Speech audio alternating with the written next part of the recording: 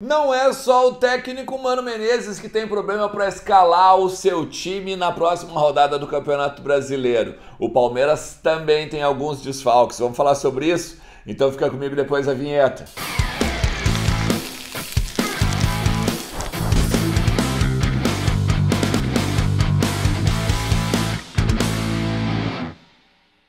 Fala Colorado, fala Colorada. É, não é só o Internacional que tá com problema para escalar o seu time, não, meu amigo. O Palmeiras também enfrenta algumas questõezinhas de bastidor para poder enfrentar o Atlético Mineiro. O Atlético Mineiro, sim, o tão temido Atlético Mineiro que tá até fora do G6, né? Tá fora do G6, caiu nas Copas, tá experimentando ali a parte intermediária da tabela. Ninguém imaginava isso, né? Nem os mineiros. E pode ter certeza que eles vão para cima agora do Palmeiras para buscar pelo menos alguma coisa nesse Campeonato Brasileiro ainda, né? Se é que eles tentam uma vaga na Libertadores, eles precisam vencer porque eles estão bem longe já da zona classificatória. Eu vou fazer o seguinte, ó, tá aqui, ó. Vou botar aqui a tabela para vocês. Olha como é que tá os 10 primeiros. É, meu amigo, quem imaginou que o Inter ia estar tá ali na colinha do Palmeiras, ainda daquele bafo na nuca do Palmeiras? É, ninguém imaginou. Ninguém imaginou, eu sei que não. Mas, graças a Deus, o Mano fez um trabalho de recuperação com o Internacional e a temporada que de repente parecia perdida tá de volta aí. A gente está buscando. Eu sempre falo, não são oito pontos. Não são oito pontos, são cinco são cinco pontos, porque se o Inter quer ser campeão, tem que ganhar do Palmeiras na última rodada. O Palmeiras, inclusive, que tem problemas, tá? Para enfrentar esse Galo, esse Atlético Mineiro lá em Minas Gerais, tá? E aqui eu acho bem importante a gente pontuar. Se a gente tá sem o Johnny, se a gente tá sem o Bustos e talvez até sem o Daniel, o Palmeiras tem seis desfalques. O Palmeiras tem seis desfalques. Lembrando, né? Só vai perguntar assim, mas, por que, que tá sem o Johnny? Por que, que tá sem o Bustos? Por que, que tá sem o Daniel? Bom, rapidinho então, né? Sem o Johnny, porque tá na seleção dos Estados Unidos, vai fazer um enfrentamento lá por dois amistosos, né? Um contra o Japão e um contra a Arábia Saudita, na Alemanha e na Espanha. Tá totalmente fora. O Bustos tomou o cartão amarelo, o terceiro está suspenso não joga. O Everton também não joga porque pertence ao Bragantino. Já falamos sobre isso nos outros conteúdos, né? E o Daniel tem a questão do olho, que ainda precisa de recuperação e talvez possa estar ainda mais uma rodada fora, beleza? Mas vamos falar do Palmeiras? O Palmeiras é o seguinte: o Palmeiras está com seis jogadores e, e, em baixa, tá? Que não vão poder atuar contra o Galo. E aí a gente vai começar a listar. Olha só: é o Everton, o goleiro e o zagueiro Gustavo Gomes.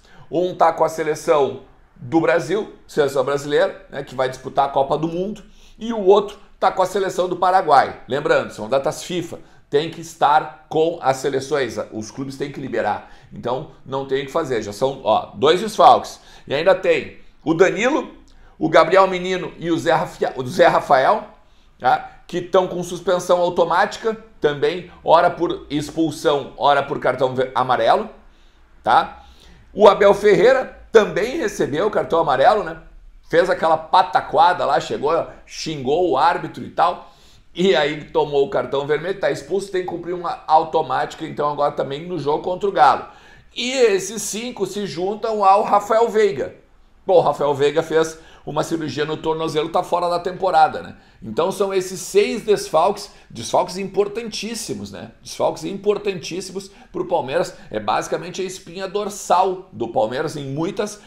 O Gabriel Menino, próprio Danilo, o Zé Rafael. O goleiro, então, né, o Everton, goleiro de seleção brasileira, esses são os desfalques do Palmeiras. E olha, Galo pode fazer um crimezinho lá, hein? E aí, meu amigo, o Inter tem que fazer a parte dele contra o Bragantino. Enquanto isso, já como o Abel Ferreira foi expulso e está cumprindo essa automática, vamos lembrar lá na 23 rodada do Campeonato Brasileiro que o Inter enfrentou o Havaí e o Mano foi expulso, lembra? Lembra? Naquele vídeo, né? De, ah, conseguiu o... não, não, não, né? O tomate cru, né? Então é mais ou menos o que aconteceu o seguinte: o mano foi expulso naquele, naquela ocasião e aí ele foi julgado no STJD. E por, olha, eu vou dizer para vocês, ele era reincidente, tá? Ele era reincidente. Poderia ter pego uma pena muito maior, mas ele foi punido no, no STJD com um jogo de punição já cumprido, esse é automático, mesmo que o Abel Ferreira está cumprindo, por exemplo, contra o Galo, e tá livre, tá liberado para estar na Casa Mato, então, contra o Bragantino na próxima quarta-feira, na outra quarta-feira, só lá do estádio Beira Rio, tá? E aí, meu amigo, o Inter também foi, ele também foi punido, o clube também foi punido em 3.500 reais multado, porque houve um arremesso de um copo plástico para a zona de, de, de, de competição e também aí com isso houve um atraso no início do jogo. Então o Inter foi multado por esses dois por essas duas infrações, né? R$ 3.500 é nada, né, meu? E por isso que eu não entendo, às vezes, o que, o STJD pensa da vida, né? De dar uma multa de R$ 3.500 num universo de milhões que é o futebol, né? Enquanto isso, cara, dá pra gente falar também da base. Dá pra gente falar da base pelo seguinte: porque o Inter vai enfrentar o Mirassol na estreia da Copa do Brasil Sub-20. É o que o Inter não papou no ano passado, né? Lembra? O Inter não papou a Copa do Brasil. Ganhou, ganhou o Campeonato Brasileiro, ganhou o Gaúcho, depois foi, o, foi super campeão, né? Enfrentou o Coritiba, que foi o campeão da Copa do Brasil Sub-20. E aí o Inter praticamente papou todos os títulos, né?